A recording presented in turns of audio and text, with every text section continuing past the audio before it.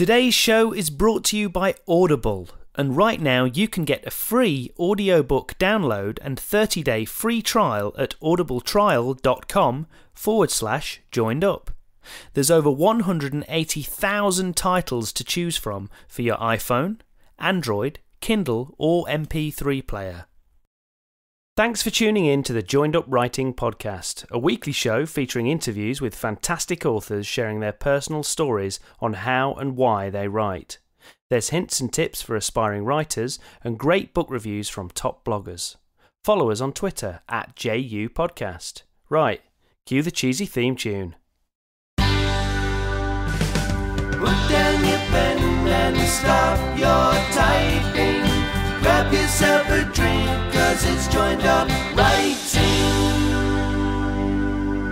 Yes, hello, and welcome to the Joined Up Writing Podcast, where a little procrastination can go a long way. I'm Wayne Kelly, and it's episode 88 and one of our special NaNoWriMo shows. Today, I've got Red Pen editing and Scrivener Virgin guru, Anne Rainbow, giving us her tips on how Scrivener, which is an amazing, inexpensive bit of software, can turbocharge your NaNoWriMo experience. And if you're listening to this and already scratching your head as to what NaNoWriMo is, sometimes abbreviated to Nano, it's National Novel Writing Month and it comes around every November. It's an international online contest to see if you can write at least 50,000 words between the beginning and end of November. It's great fun, challenging but rewarding, and there are local support groups wherever you live. If you listen to the show regularly, you'll know that I'm a religious zealot when it comes to writing with Scrivener, and if that fact has somehow passed you by, then stay tuned because Anne and I give you the rundown on what it is and how it can literally transform the way you write your novels, short stories, plays, and even screenplays. And in this episode, we'll be paying particular attention to how Scrivener can give you a better chance of hitting your nano target, but also how it will make editing and finishing the novel so much easier. So let's get to it because as the show is released, we're only a couple of weeks away from the start of Nano, and you lot are going to need every spare second you can get your hands on. Don't forget to subscribe to the podcast on iTunes, Spotify, Stitcher, Overcast, YouTube, or wherever else you can find podcasts. And if it's your first time, you may be pleased to know there are hundreds more episodes over at joinedupwriting.co.uk, so hit the subscribe button. Okay, let me tell you a bit more about today's guest, Anne Rainbow. So, Anne is maybe best known as Scrivener Virgin, and her Scrivener Virgin blog over at scrivenervirgin.com motivates writers to make the most of what I regularly tell you is an amazing piece of software. And as Red Pen mentor, she published her book, Editing the Red Pen Way, as a guide to writers wishing to self edit and for a select few Anne actually supports writers in achieving their publishing dreams via her mentoring scheme. I'll also put some more info in the show notes, but for now, let's get to the chat. Okay, Anne thanks so much for joining us on Joined Up Writing for this special NaNoWriMo edition. Really, really appreciate you coming on. How's things? Uh, pretty good, actually. A bit, um, a bit frantic in the run up because obviously you plan to do so much, and actually then the time runs out. So I can't believe it's October already. I know, I know it does come around really quickly already, and people are raring to go for writing those fifty thousand words or more mm. in the in the month of uh, November. And uh, I wanted to do this um, this particular episode because specifically you kind of specialize, or one of the things that you look at um, is Scrivener, which is something anybody that listens to the podcast for more than a few episodes will hear me bleating on about it I'll crowbar it into most conversations when I speak to other writers if they haven't tried it because I love it. Um, and I actually got I found Scrivener through NaNoWriMo originally when I did it back in 2012 or something like that, and I got a discount code and I thought, well, I'll give it a try. But why, why don't you tell us first of all for people that are listening? There will be people out there that don't even know what we're talking about. So first of all, why don't we start off with you telling us what Scrivener is for the uninitiated? Is it just another version of Microsoft Word? Absolutely not. Absolutely not.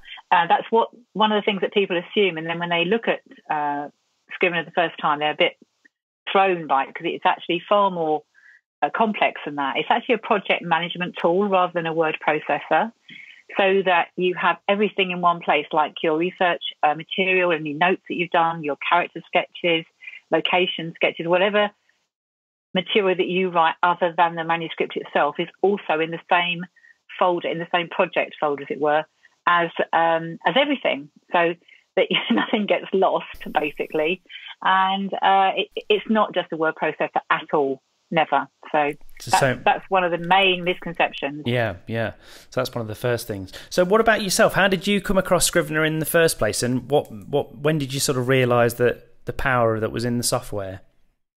Well, I was the same as you. Uh, I I did Nano going back. I think it was 2009, my first one, mm-hmm. and I and I and I won um, like you do, and and I got my Scrivener thing. Now I am a software expert. You know, I've been in software forever. Mm-hmm. But when I looked at it, I thought, you know, I haven't got time, and it, and I I can't. I, I learn new software to teach it all the time. Mm-hmm. So therefore, I just literally just I couldn't be bothered. and then oh, must must have been um, must have been about three or four years later. Somebody I know, another writer, said to me, uh, "I assume you're using Scrivener," and I said, "Oh, I've got it somewhere on one of my machines. I've got it somewhere." And she, oh, you know, I can't believe you're not using it. It's amazing. And, and she sent me a link to a webinar. I think it was probably somebody like Joseph Michael, some, someone like that, one of the normal, you know, clever people on Scrivener. and I got myself a cup of coffee or a glass of wine and sat and watched watching. I thought, oh my God. I mean, I have just spent the last like four nanos doing using Word. Right? And I had yeah. four very messy manuscripts. Whereas the next one I did, I did in Scrivener. And I made a point. I think I took it up in about um, April, May time. I started blogging in the September because I thought if I start blogging, I'll have to do this. Yeah. It'll make me learn new stuff. Every week I have to tackle something new.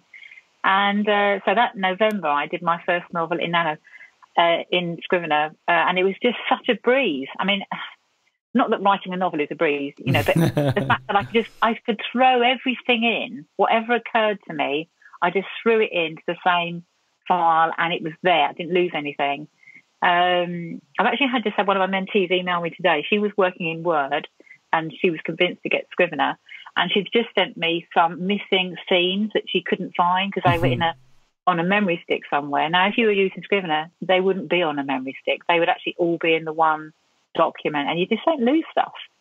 Uh, so yeah, so I think it was about probably four years ago now, maybe I, I lose track, frankly. Um, but I would never go back. I mean, I, I, I, very occasionally have to use Word for various reasons. If I'm designing anything like a poster or a leaflet, I go straight into InDesign. Mm-hmm. I can't be fussing around with trying to make images be where they should be mm-hmm. in Word. Mm-hmm. And so anything that needs any kind of design, I go to InDesign. But everything else, I, I use Scrivener for. Not just writing either. I mean, I use it for my blog posts, for my my Scrivener tips, my editing tips uh, my marketing plan.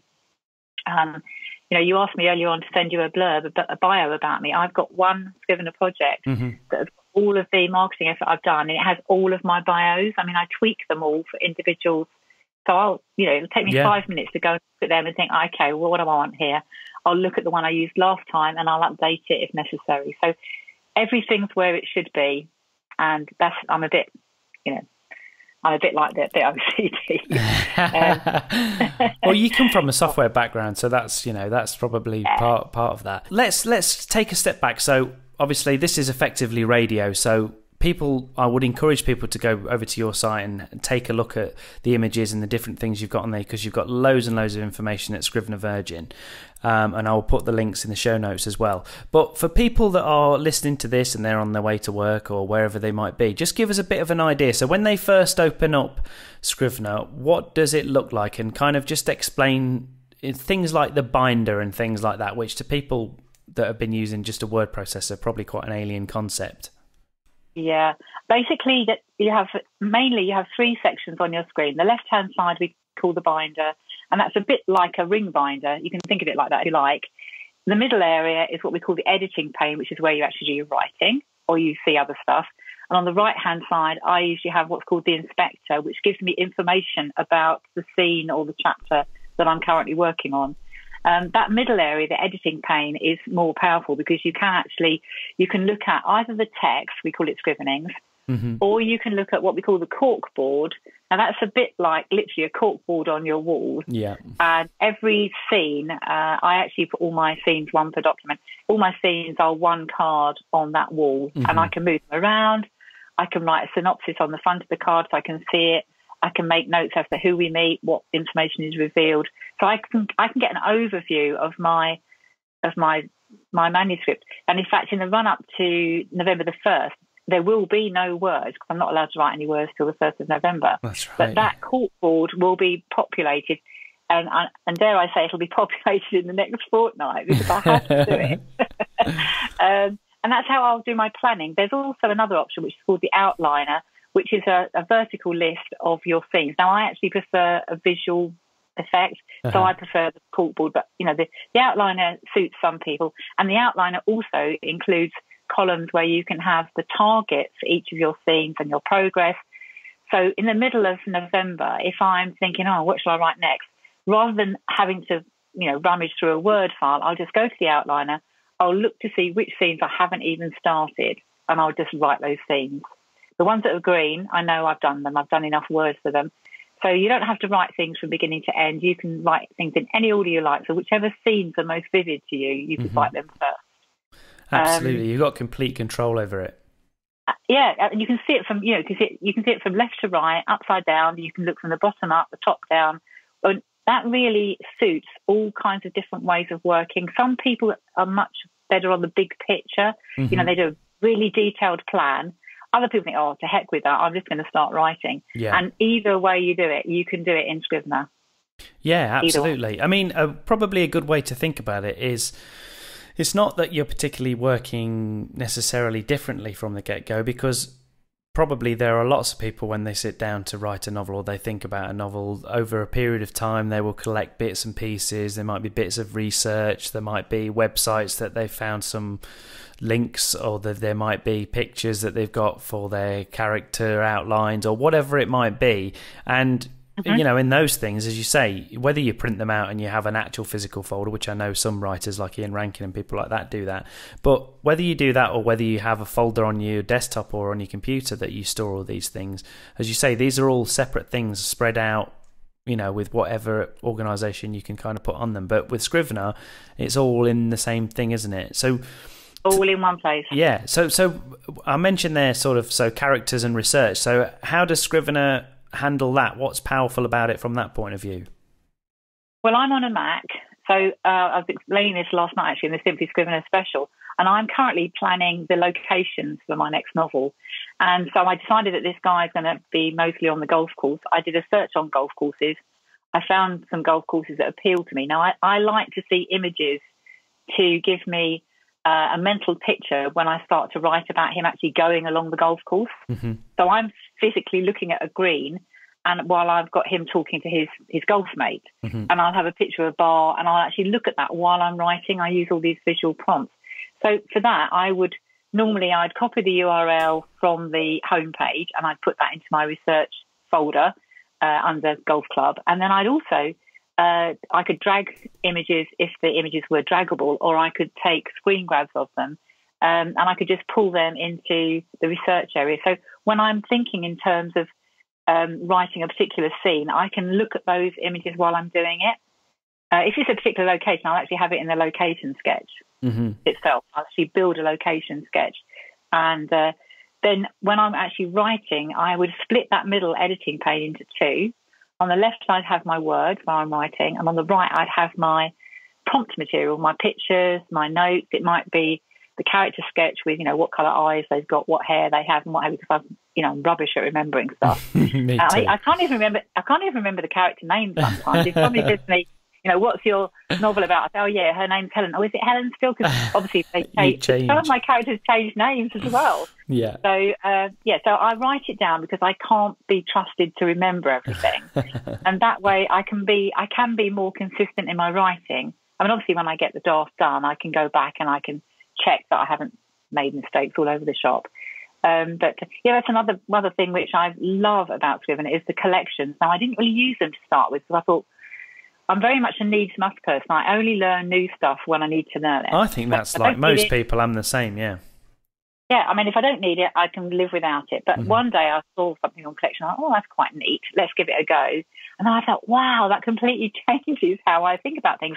When I'm doing my editing, I mean, for argument's sake, if I want to check that I've actually got Helen with the same colour hair throughout, I'll do a search on hair Um, and I'll look at all the scenes where I mention somebody's hair, and I'll Mm-hmm. think, "Oh my goodness, I've got a bit of a thing about this."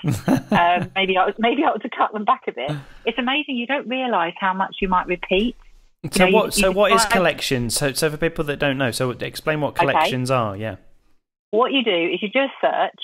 Um, so that's just like a normal search you do in any document. But having found the scenes that, that contain the phrase that you were looking for, you can save all those scenes as a collection. It's um, it's a subset of what's in the binder, but it doesn't change the binder at all. So you can dip into those scenes, make some changes to the text, and they're being you're just seeing a different view. Some people think, oh, it's another copy. No, it's the same copy. You're just accessing it differently Just organising the, the information yeah. differently for you. If you want to, uh, a book I'm working on at the moment with somebody, she's got a situation where a woman is killed by arsenic poisoning. Mm-hmm. Now, the, the word arsenic is pretty easy to find. Mm-hmm. And I've been looking at this manuscript yesterday. I said to her, I think you've introduced arsenic too early. Mm-hmm. It kind of gives the game away too early. So if you just look for the scenes with arsenic in it and make sure you have not told the reader too much too early on. And that's the kind of thing you can do using collections. Um, so you just simply do search, and then it's the very bottom of the drop down. It says save as collection. Uh, Scrivener offer you the search, whatever you put in for your search, as the name of the collection, which makes a lot of sense. Mm-hmm. Um, so if you're a bit, you know, maybe use the word very too much, you could search on very, save it as the very collection, and then when you've got a minute, you just go through those scenes and decide can you cut some of those berries out. If they're in dialogue, they probably probably could stay, but if they're not in dialogue, they shouldn't be there.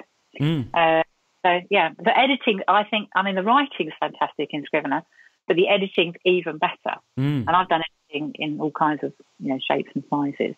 Yeah, Um, I agree. So easy, so easy. I agree. So you, so you talked about just before that. You talked about you know splitting this pane and putting that over there and all that kind of thing. So uh, again, for people that don't know, how easy is it to organize the screen to how you want it, rather than I mean, do you have to have it a set way? No, no. In fact, you, you can set up if you really. I mean, I haven't bothered to do this because I'm too lazy, but you can actually set up different workspace sort of formats if you if you want to. But it opens up usually just with the binder open and the editing pane, so you can have the inspector open or shut. And the editing pane, there's just one little button in the top right hand corner. If you click on that icon, it splits the pane, and then you select what you want in each pane. There are you can actually have as many as four panes open. That's a bit advanced, really. But and I must admit, I've never found a good use for it because I'm I focus on one thing at a time. It Can be distracting. Yeah. It can be distracting, yeah. So but it's a it's a one button click to get the split pane, and then you can unsplit it in with the same button. So it's it is very easy. Um, anyone who's not who's not sure, I mean, if they came along to one of my Simply Scrivener specials on the Tuesday evening, I do them every week. Nearest done it. Um, you can I just show these things on screen, but if you just play around with it, it's not it's not hard to find these things. Yeah, Um, you can mess about because you you're not going to break anything. No, no. If you just move the mouse around the screen and, and wait for the little, you know, the alt text to come up, one of them will say split screen. Yeah. yeah. Oh, that's a split screen one. yeah. Uh, it, and I think I would encourage people if they're new to a piece of software, it doesn't matter what it is, they should wander around the screen, take a what I call take a walk on the wild side, just move the move the cursor and see what comes up, and you go, oh, I didn't know it could do that. Well, that's exciting. Um, and then you can you explore that way. And I say we, you can't break anything. I mean, you know, Modern just software. Yeah. exactly. Yeah. software. Exactly. And so, because one of the things that I like to do, because you mentioned like having different panes and different bits and pieces, is well, there's the composition mode, which we'll come on to in a sec. But when I'm when I'm writing, I sometimes if I've done an outline or I've made some notes on a scene, I like to have a little floating pane off to the side with those notes or the Yeah. the, the, the points, the the um, beats that I want to hit. And again, you can have Yeah. that whilst you're doing your writing, can't you? That's right. That's a quick reference pane. Mm. that can be separate on on your on your on your screen. So you have the Scrivener screen to one point, and then you just slide that away a bit. And it's as you say, it's almost having it on your desk, but just to one side. Yeah, yeah. And what and, and I mentioned there the composition mode. So tell us a little bit about that because I know Microsoft Word have started. They've got like their own version of that now, and you can uh, they just full screen Oh. mode or whatever. I think it's just called full screen mode, and you can do something that's similar. They don't call it composition mode, where they sort of take away the distractions. But it's um yeah. Tell us a little bit about that. Well, the, basically, there is an option where you clear the screen of everything but the piece you're writing, and you can actually you can make some pretty paper on the background. I mean, the one I've got in my example is pretty loud, actually. I'm looking at it now. I- yeah, it's, the it's a bit fractals. Yeah, fractals, yeah, purple fractals. Um, actually, it matches the colour of my wallpaper in here. So, um, but yeah, if, for people who really can't cope with having anything else going around the screen, uh, then the composition mode works a treat. I personally, I when I'm typing, I'm not actually probably even looking at the screen. yeah, I'm just I'm looking at the keyboard on, you know, my head somewhere, yeah. um, and uh, I just type away like that. And I don't worry about if I've made typing mistakes. I just keep moving because it's in my head. I'm hearing the characters talk, and I need to get it down as Mhm. fast as I can. Mhm. You know, I don't bother with quote marks or, or you know, I don't do an, an awful lot of punctuation on Mhm. that first draft. I just get it into the keyboard. Um, but for some people, they do they prefer to use that particular option, So and uh, it's there. So, so on on that subject, now you kind of touched on that, and as you say, with the first draft, the kind of way you approach it is just head down and off you go. In terms, if we think about specifically now nano approaching, and people, there'll be people that have never even tried this, and they're probably nervous at the prospect or, and excited by Mm. it. In terms of your actual tips for actually getting the writing done and succeeding at winning at nano, what what are some of the some of the tips that you would give people? it's important to uh, be aware that it's, there are 30 days, which seems a huge amount of time. And when they say, oh, it's 50,000 words, it's only 1,660 words a day. It doesn't sound a lot. But if you really look at your diary, you might find that of those 30 days, you've only got 22 that you can actually sensibly do any writing in. Yeah, Um, and so when you're trying to work out how much to do every day, then I would, uh, on the side of, you know, try and do twice what you think you need to do. hmm Um, there's always, life's always going to throw you a curveball at some point. Uh, you know, there'll be an exciting event to go to. And you think, oh no, I've got to do my nano. Oh, you know, I'd rather go to the party. So if you, I, I, every now and then I have what I call awesome days where I do like 10,000 words. yeah, I just write all day. I look in my diary and work out when my husband's going to be out, when there's nothing else got to be done, and I just write all day. I'm exhausted by the end of it, but it's a it's a really it's a weird kind of high when you get totally into your novel in that way. Oh, it's brilliant. Yeah, It's, it's, know, it, don't don't try and. I mean, I I aimed because I'm ML. I'm the what do they call it? municipal lia- liaison. Yeah, catchy. Yeah. yeah, so I, I cannot not win. I mean, it can't happen. But also, but, but also, the last kind of five or six days, I spend most of my time kind of cheering other people on who are who are flagging, yeah. and so it, it helps me if I've actually finished my fifty thousand by about the twentieth, twenty first, twenty second. hmm So I actually start off aiming for about eighty thousand Yeah. because I know I need that many anyway. Yeah. Um, and I think the, the best thing is to tr- try and do it in the first week. That would be a, that would be a good plan. Um, but but no, it's it's important just to be aware that the time can slip away, and then you get in a panic, and then your brain freezes. The other thing as well is to be aware of, and you can you can try this out beforehand. What's the best time of day for you to work? Now, I'm best first thing in the morning. I get up about half past five. Mhm. Husband's fast asleep. He doesn't stir till about half past seven. I've got two clear hours. Mhm. I can change the world in two hours. um, so I can get all my nano writing done before he wakes up. Yeah. Uh, in theory, in practice, what will happen is I actually I actually do work.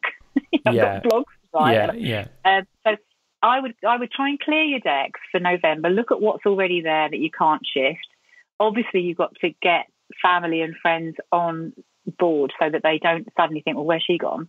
Mhm. Um, I mean, we know we have a very uh, upfront conversation about food um, before November starts because, like, you know, it's not going to be the normal stuff during November. yeah. Um, and I'm, I'm going to be tired, and I'm also going to be a bit spaced out. yeah. You know, I'm going to be I'm going to be in that novel. I'm not I'm not going to be normal. Yeah. Um, well, you know, worse than usual. But yeah, so I, I would I would think that people need to prepare in as much as it's like going on a holiday. Before you go on holiday, you've got to sort your packing out. You've got to, you know, you've got to get everything sorted. You've got to clear your desk. and then you go away, and of course, when you come back, there's loads to do. But that month for me is a pure indulgence, uh, and I, you know, I, I do the run up to it, knowing that I don't want to be, I don't want to be interrupted during November, um, and I've been very, very careful to avoid uh, taking on any kind of social things. You know, I've tried very hard. We're actually going to the theatre on the first of November. We're going to go and see um, Alan Bennett's probably his final play. Now I can't miss that. No. But, um, I'll be up at midnight the night before because, because I will Yeah. to start writing. So I've already looked at my diary thinking, yeah, it's a couple of days here where I've probably bitten off my than I can chew. But So that, that's days. important, isn't it? It's the looking at the diary is important, and it's treating it as if uh, you say it's like writing by appointment almost. Yes. And, and make sure that you've blocked the time in. It's a case of carving out the time. I mean, like the Remembrance Weekend, I can never write because we go to a special service up country. Mhm. But my husband's away for three days the following week. Three days. you So get loads I- done. I'll get loads done, and that's the 13th, 14th, 15th. So basically, I, I look at it in advance and, and I put people off. If somebody says, Can we meet up in November? I say, Well, I'm a bit busy. Can we make it the first week in December? Get your friends and family on side. Uh, I mean, some people take a week's, you know, annual leave and, and go off somewhere. But if you if you if you run at it and you do as much preparation as you can during October, think about your characters, think about what it is about your characters, how they're going to conflict with each other, and you know what the what the story's all about, basically. Um, and let it kind of fester in your mind. hmm Get some notes down, and then you know, first of November, you just hit the ground running. It's so exciting. I mean, I love it. I love it. It's. I mean, it's totally addictive. Um, I don't know any, but I, I know people who've done it and then not done it. But I've known I know lots of people who've done it and just have to do it every Over and year. over again. Yeah, yeah. and it, It- and it halfway through they go, oh, I don't know why I'm doing this. I hate it. And no, you don't. You love it. You the rose tinted glasses come on about you know six months later, especially if you've got a novel in your hand that you didn't have before. Well, that you know, there's, no way I could break the back of a novel at any other time of the year. I've got lots of half-finished novels Mhm. and lots of things I can work on. Um, but you know, other people are more disciplined in as much as you know they will in January, February they'll go, they'll finish it, they'll edit it, and they'll get it out there, and that's good. That's you know, well done them. Um, I'm not so. Right, I mean, I've had a lot of books published in the past, so I don't have that same goal of, of publication that other people have. But I, I want to write it because I'm actually I want to get a message out of my head and onto paper. Mm-hmm. I think if you've got a message you want to get across, this is the ideal opportunity to do it. And there's so much support from the Nano organisation itself, from the MLs. I think it's it's important. Nano is like a, um, a launch pad. hmm You know, you can get people started on writing. Um, I love it. I love And is it your preferred way to write a novel? Yes. yes. I wouldn't have the motivation to do it otherwise. I mean, I, I, I am a very organised person. I mean, you know, anyone who anyone who I mentor knows perfectly well that you know I'm a massive good and I'm very organised and what have you. But actually, getting myself to do something, I'm a bit of a last minute merchant. Actually, I've got a play I need to do by next May, and I've known about it since last May. Have I done it? No. Um, and the novels, as I say, I do. I limit myself to one a year, and I, I write it in November, and then I work on it during the year. Some of them I, I do in November, and I don't really like them very much, and then maybe I'll come back to them two or three years later and um, and Revive do it. something. Yeah. And some of them I really like and think, wow, I really want to take this one further hmm and I like the characters and what have you. I've got a writing group that we meet um, every month, and we sh- we share a chapter a month. Hmm So I think I'm currently working on the 2014 one Mhm. with them. Um, so that shows how old it is, but it's one that I really like, Yeah. and I'm happy to work on it. And it's a piece of work that wasn't there, you know, in October of that year, and then it was there at the end of November. And people don't have to do a novel. I mean, if somebody's got some other project that they, like a play, or um, you know, maybe maybe someone's thinking, do you know what? I need to get all my blogs done for the next year. Well, Yeah. Right next November, plan your editorial calendar for next year, and sit and write a blog a day for 30 days. That will sort you out for six months into next year. Yeah, because the idea, although although it is National Novel Writing Month, as you say, the, the actual the target is to write at least fifty thousand words, isn't it? And some people do use it as an as a, as an excuse, if you like, to to get lots of their other words down as well. I mean, short story writers could literally write a short story a day to good Yeah. effect. Yeah, But it, it is lovely to see that little kind of graph with the line where you should be up to, and you're just over it. it is brilliant. That's what I remember, and, and I mean, and that and that was using the actual Nano site when when I did it. Oh, but, yes, on the site. But yeah. but but tell people about the actual targets and the goals that you can set within Scrivener, because again, I use those when I I mean I'm writing my novel, you know, all year round sort of thing, and I use those targets, especially when I first start out on a novel. I use those all the time, and again, I love seeing that, you know, that red Yeah. line turn amber Yeah. and then green you- or whatever. That's right. What you can do is uh, you for each um, document, and I I use one scene per document. You can set targets for each of those. So as you say, it can go from red to amber to green, and you know you've written that scene. So you might set a scene target of maybe five hundred thousand, whatever, whatever. It's, it's an arbitrary number, to be honest with you. Just get some words in there. Yeah. But you can also have you can also have a, a target for the whole project. Uh-huh. So, I mean, obviously for Nano, you put 50k in for that, but you can with that one, you can you can tell it things like, "I'm not going to write on Sundays and Wednesdays." Yeah. You know, there's no way I'm going to. So it will then do all the maths for you, working out how many words you need to write in the remaining days.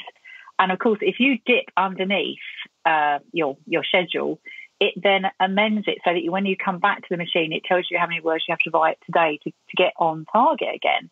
So it's a bit like a a nagging mum Mm. um, telling you how much you're going to do, and you can have session targets to, as I say, to keep you going on a daily basis when, on the days you do work. So you just tell it, I'm ending on the 30th of November.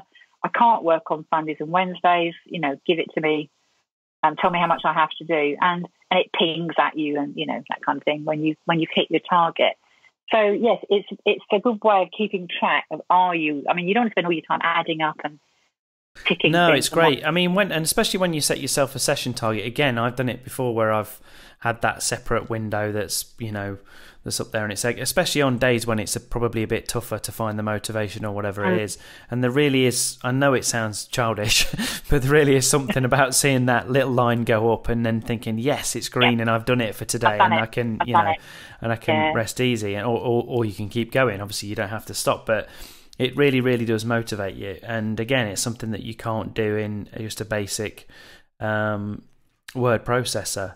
How important do you think it is in, in general with writing? How important do you think it is to get a group of like-minded supportive people around you if you want to succeed? I think, yeah, I think it's I think it's very important. I'm very much a, uh, a supporter of the artist way, um, Mhm. Julia Cameron. In as much as, and I think I think it's really important for artists, writers, you know, whether they're painters, poets, whatever whatever you do that's to do with art, to have time where you meet other such weird folk. Because there's no two ways about it. We are a bit weird, right? absolutely yeah Yeah, so I think it is really important. I mean, if people haven't got opportunities to meet face to face, there are lots of opportunities to meet online. I mean, obviously, Nano has its regional forums and chat, and they have chat rooms and what have you. But there's usually, I mean, people like me. I mean, I do these webinars um, just for an hour at a time for people to come along and ask questions about how to do Nano. Because if you, have, if you haven't got somebody near you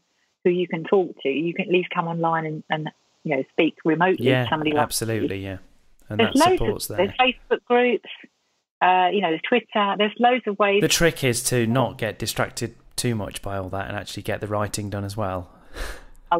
oh yeah, oh yeah, yeah. Very important.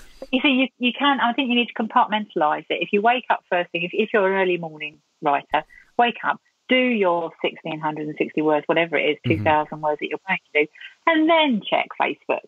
Yeah. Don't kick off with Facebook, otherwise you'll never get those You'll done. never get it done. Okay, let's take a quick break there for this week's Book Bloggers Corner. And this week, Catherine Sunderland, aka Bibliomaniac, brings us her review of a thriller, The Classroom by A.L. Bird.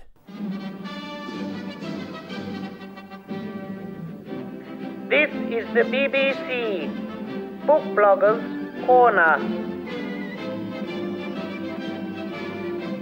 The best thrillers are the ones which take our deepest fears and make us watch what happens when other characters have to live through our worst nightmares.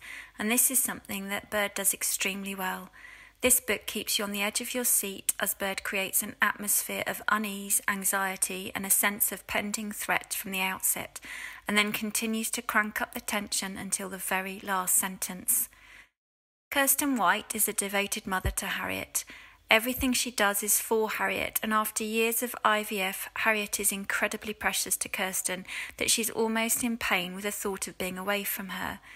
And now it's time for her to start school. Kirsten struggles to let go of her and to entrust her daughter into the care of a teacher, a teacher who happens to be new to the school. Meet Miriam Robertson. She's been waiting for the perfect girl. She has been watching, planning, and preparing for this moment. And when Harriet arrives in her classroom, she knows this is the child she has been waiting for. This is the child she wants. What unfolds next is a gripping tale of manipulation, deceit, secrets, trickery, and psychological drama. This is a great read for fans of psychological thrillers. Even if you see some of the twists coming, it's still compulsive reading as the backstories are revealed and add more darkness and complication to the dynamics and relationships between the characters. Bird explores the motivations of these women very well, and the way their stories knit together is skillfully handled. I am a huge fan of A.L. Bird because I know she'll always deliver a book I can lose myself in for a few hours while she takes me on a twisting journey of shocks, twist, and drama through characters I'm always able to identify or empathise with in some way and always find them intriguing enough to see how their journey ends. Well written, well paced, and with a great premise, The Classroom should make it onto your reading list this autumn. There are also some really good book group questions at the end, which I thought were really interesting. Book Bloggers Corner. There you go. That was The Classroom by A.L. Bird, and you can find a link to that in the show notes, along with a link to Catherine's blog that's got loads of great book reviews and recommendations. Okay, let's get back to my chat with Anne Rainbow, where we talked about some of the other types of projects that you can use Scrivener for. I know, I know you mentioned there you're writing plays. So again, you use Scrivener for that, presumably, as well as your blog Yeah. posts. I, and I've used it um, for screenplays and scripts. And um, uh, and again, people can find a post um, over on uh, Scrivener Virgin that'll be live the same time as this podcast of roundabouts. Yeah. And they can go and have a look at that and can give you some um, tips on that. But you can literally use it for any any kind of writing. I mean, I haven't used it yet for non-fiction, but I'm planning to use it for non-fiction. But I should imagine it's brilliant for non-fiction as well. Yes, I did my uh, editing the Red Pen Way book. I mean, you know, it was a. I mean, I have written a lot of books in the past, and I've written them using Word when I was doing IT and maths books, you know, in my previous existence.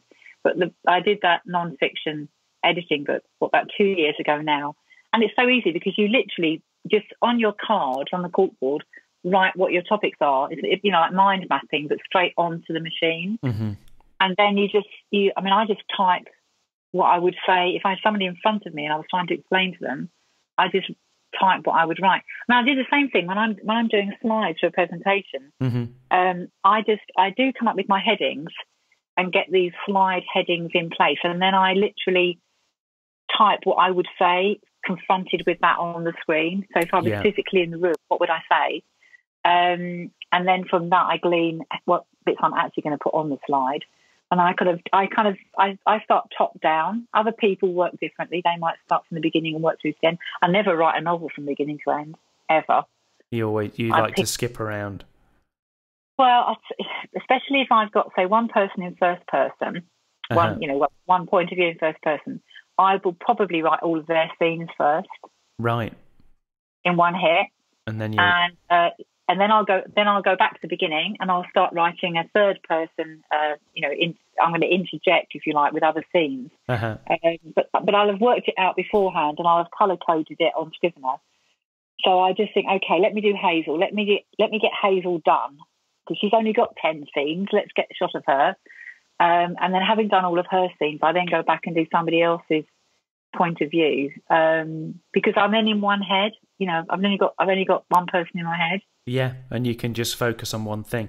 I mean, there's so many different things that we, as you say, you touched on color coding there. I mean, I use icons as well to when I'm Yeah. when I'm doing my edit. I lots of people do it different ways. When I when I'm editing, when I've done a first draft of a chapter, it's red, and when I do another pass, it goes to amber, and then when I do the final pass, it goes to green.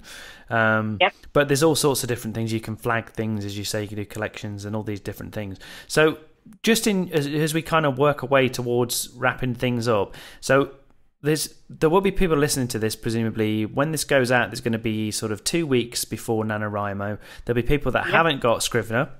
And they probably think, "What the hell are they talking about?" You know, uh, you know, how do I get hold of it? But you can get it on a trial, can't you? So they could try it You out for, for, and get it ready for Nano if they wanted. You can, and and if and if you win, Nano, the odds are. I mean, I, ha- I don't know what the prizes are this year, but you know, nine times out of ten, there is a, uh discount. It's not a huge amount of money anyway, No, it's a but there is usually a discount on the uh, on Scrivener um, as part of the the you know the, the winners um, booty, as it were. Mhm. So, but if they, I mean, if they decide they're going to to start by Wednesday, the twenty fourth of October, that's when I've got my first kick-off webinar. Yeah, And so if they haven't got a clue what it's about, then if they came along to that, they can ask whatever questions they like. Um, I'll be using, I'll look at last year's presentation and then I'll change the screen grabs because obviously the site changes every year as well. And I need to make sure that it's doing what I expect it to yeah, do. sure, yeah. Um, so Wednesday the 24th is the kick-off for me online. But Yeah. if they, if wherever they live in the world, if they go to their Nano site and they sign up for their local region, Uh-huh. the odds are there'll be a face-to-face meeting. They can meet their ML and they can ask them questions and meet the other writers as well. I mean, Brilliant. that's going to happen Yeah. probably. I mean, in um, in Cornwall, I don't know the Devon dates because uh, I haven't actually got access to those. But the Cornwall one is on the twenty.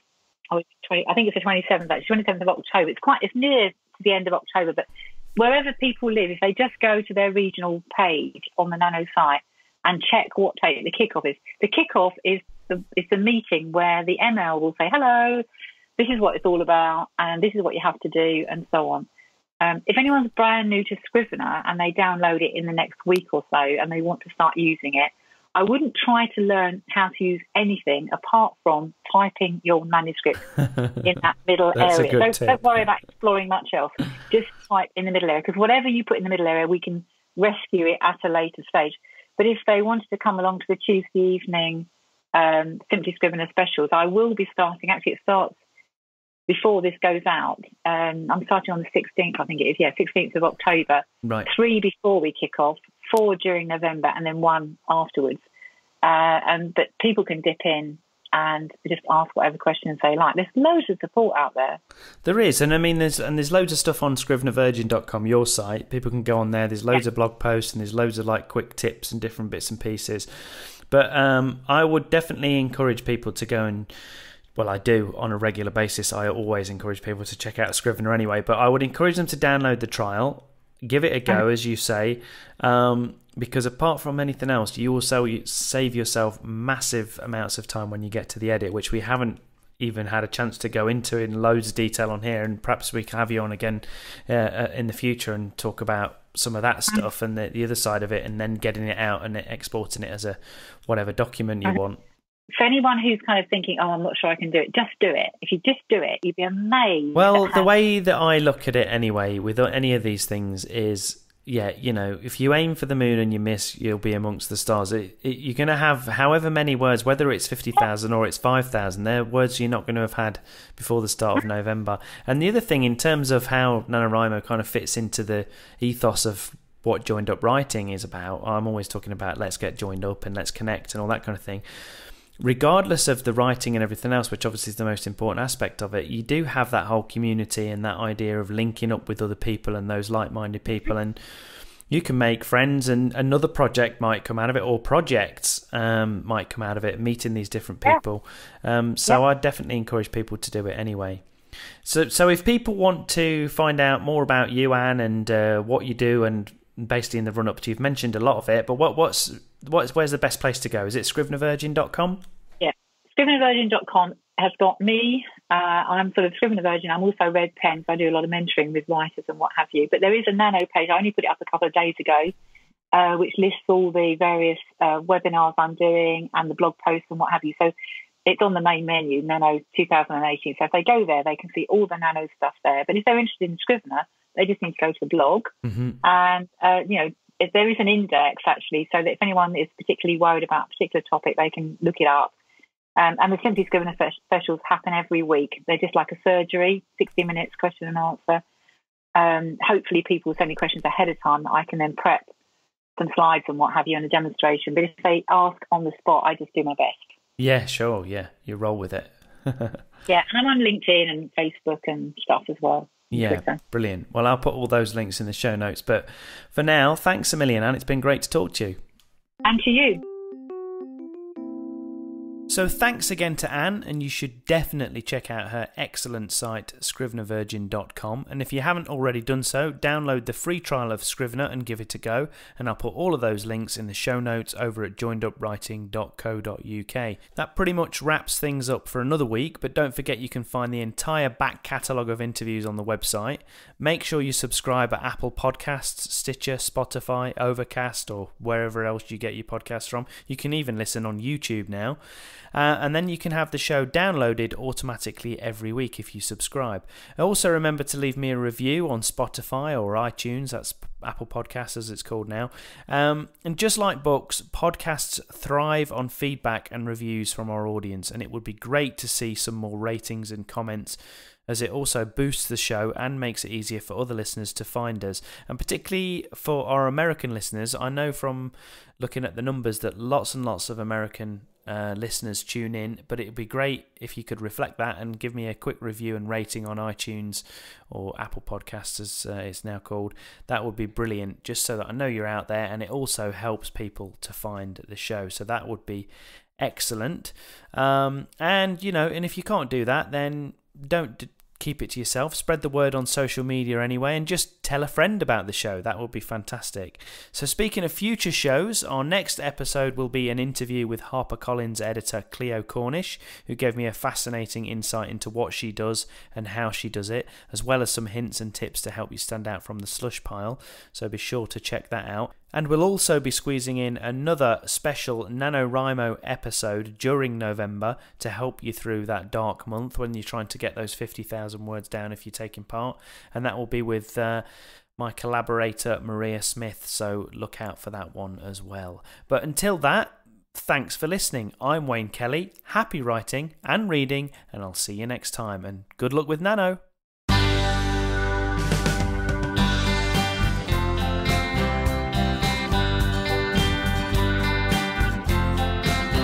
Up writing.